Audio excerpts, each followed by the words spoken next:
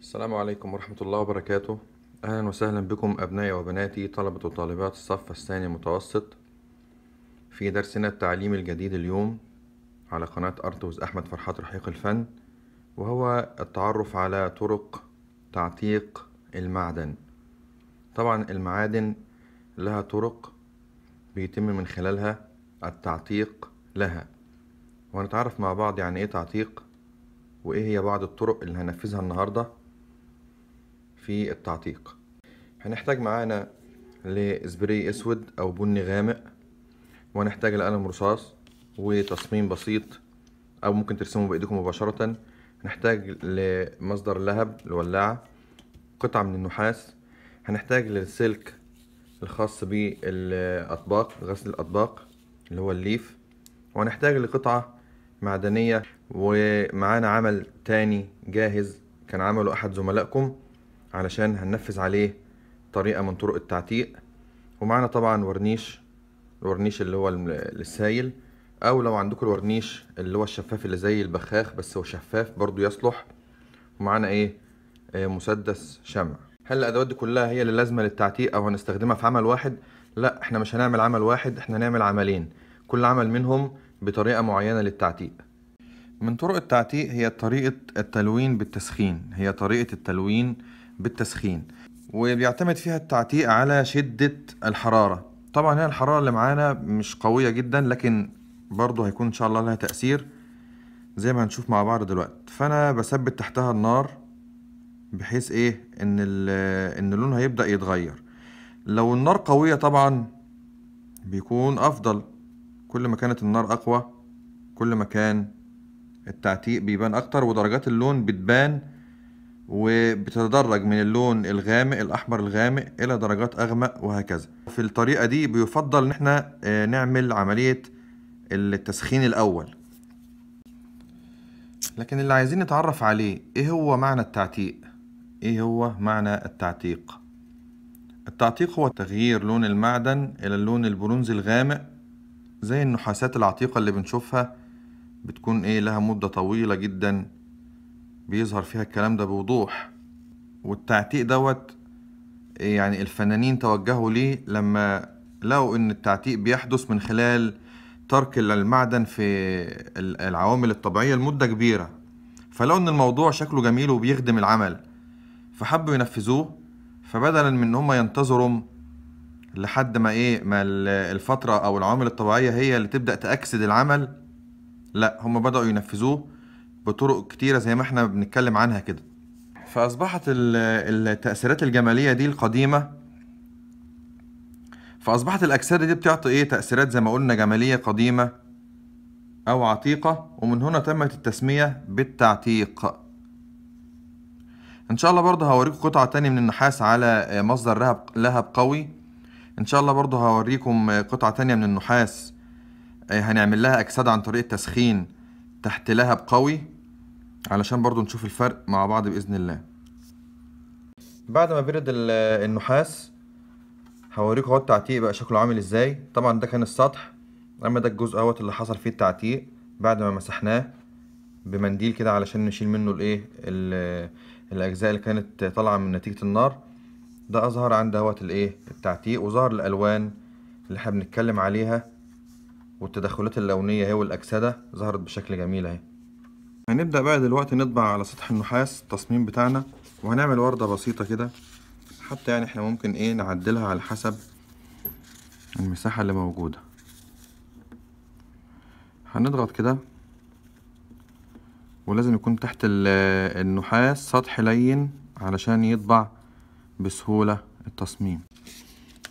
خلاص انتهينا من طباعة التصميم وأصبح معانا أهوت واضح بالشكل ده. وهنبدأ بقى نشتغل عليه عادي بالأدوات بتاعتنا من الخلف من هنا علشان نخليه يعلى من فوق زي أي مشروع أو زي أي عمل بعملناه قبل كده بالنحاس أظن وضحت الفكرة أهي.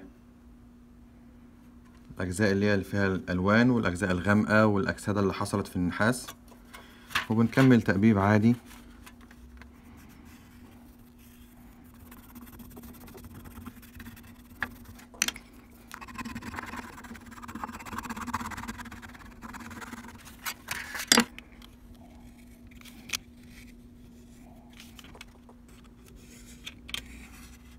ودي كانت الطريقة الأولى من طرق تعتيق المعادن اللي نفذناها.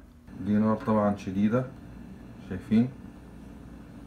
شايفين اللي حصل؟ أظن كلنا شايفين الوضع إزاي اختلف تماما إيه لما حطيناه على النار اللي هي القوية وسبناه مدة أطول مع الزيت بخلاف ال ال الولاعة اللي إحنا عملناها هنا.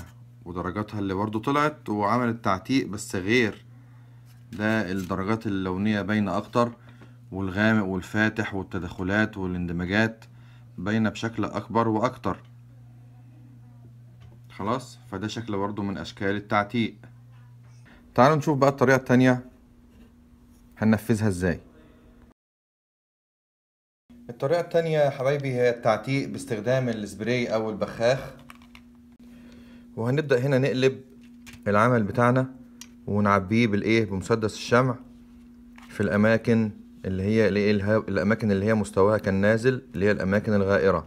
علشان بعد كده لما أبدأ أضغط عليها أثناء تنفيذ عملية التعتيق تتحمل الإيه؟ الضغط عليها. طريقة التعتيق طبعا يعني بتكون أفضل وبتكون بيت يعني تأثيرها بيبان أقوى في المعادن اللي هي المزخرفة إيه؟ بالبارز والغائر زي العمل اللي قدامنا دوت في أجزاء بارزة وأجزاء غائرة. لكن لو كان أجزاء بس يعني ملساء أو مفيش فيه أجزاء بارزة وغائرة مش هيظهر كويس فيه التعتيق. وهنبدأ نغطي سطح العمل كامل باللون الأسود أو البني حسب المتاح عندنا. وبعد كده هنسيبه إيه؟ لحد ما ينشف خالص يجف تماما. دلوقتي يا حبايبي إحنا بعد ما السبراي نشف خلاص وجف هنبدأ إيه؟ نمسك السلك دوت اللي هو الليفة الخاصة بالأطباق المواعين ونبدأ.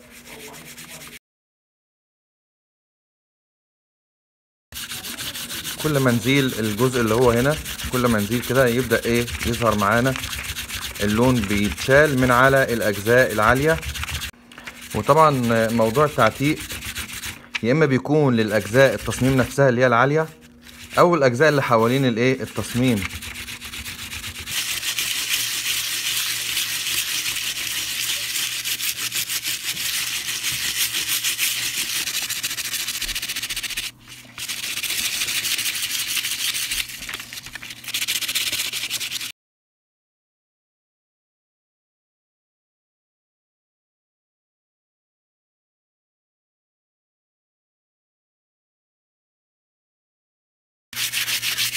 زي ما إحنا شايفين طبعا إن السلك هنا بي إيه بيعمل على إزالة اللون من الأجزاء اللي هي الإيه؟ العالية. فبيحصل التعتيق. وبنشوف التأثيرات الجمالية اللي قدامنا دي من خلال إزالة الإيه؟ السلك للون. وزي ما اتفقنا وقلنا إن الأجزاء العالية والأجزاء المنخفضة هي اللي بتعمل التأثير الكويس للتعتيق. بكده طبعا اتحولت اللوحة من لوحة عادية زي ما إحنا شايفينها قدامنا دلوقتي. كانت في البداية لوحة عادية إلى لوحة إيه؟ إلى لوحة قديمة عتيقة. أضفت عليها أثر جمالي كبير وزادتها قيمة فنية كبيرة. ده هو فائدة التعتيق يا أحبابي وشايفين قد إيه إن هو سهل تأثيراته جميلة إزاي. عايز أقول لكم طبعا إن الشيء اللي دايما بيبقى مر عليه مدة أو بنحس إن هو مر عليه مدة وبيكون تحس إن هو قديم و وطبعا في زي ألوان كده بالذات في المعادن يعني في اللوحات المعدنية. تحس إن لونها غير كده تحس إن إحنا بنقتني شيء له قيمة وله ثمن. يعني تحس إن قيمته بتبقى ثمينة أكتر. وتحس فيه بالفخامة. يعني دايما لو عندنا علبة فضة قديمة لو عندنا أي لوحة معدنية بتحس عليها بالقدم دوت أو بتحس عليها بالتعتيق اللي هو بيكون مر عليها زمن كبير. تحس فيها إن هي لوحة فخمة لها كيانها لها وزنها. فهو ده طبعا يا أحبابي فايدة الإيه؟ التعتيق اللي إحنا بنعمله. بدل ما نستنى إن العوامل الطبيعية هي اللي تأثر في المعدن وتاخد وقت طويل يمر عليه فإحنا بنعملها بإيدينا علشان نحصل على نفس التأثيرات ونفس الإحساس القيم دوت والفخم دوت بس إيه؟ في وقت إيه؟ على طول آه سريع. قد إيه شايفين أهوت اللوحة شكلها اتغير جدا بقى شكلها أفضل؟ وأجمل وتحسوا فعلا فيها بالقدم والأصالة. طبعا بعد كده بعد ما مسحناها ونضفناها كويس جدا هنبدأ بقى نديها طبقة إيه؟ طبقة الورنيش. الورنيش اللي هو اللامع اللي هيخليها تلمع ويحافظ عليها بشكلها دوت. دلوقتي نبدأ مرحلة الورنيش.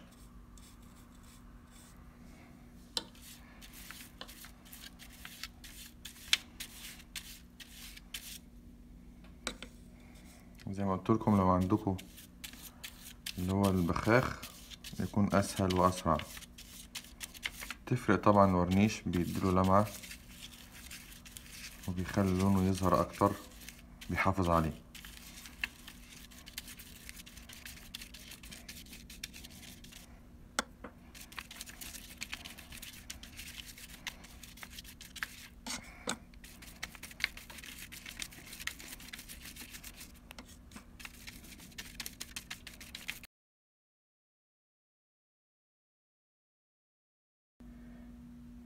هنسيب طبعا اللوحة شوية لحد ما الورنيش يجف.